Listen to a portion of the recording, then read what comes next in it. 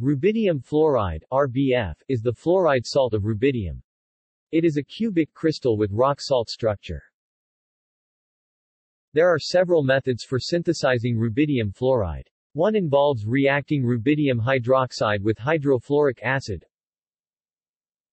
RBOH plus HFRBF plus H2O. Another method is to neutralize rubidium carbonate with hydrofluoric acid.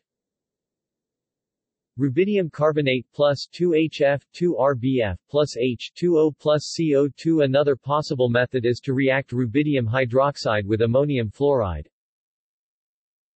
RBOH plus NH4FRBF plus H2O plus NH3 The least used method due to expense of rubidium metal is to react it directly with fluorine gas, as rubidium reacts violently with halogens.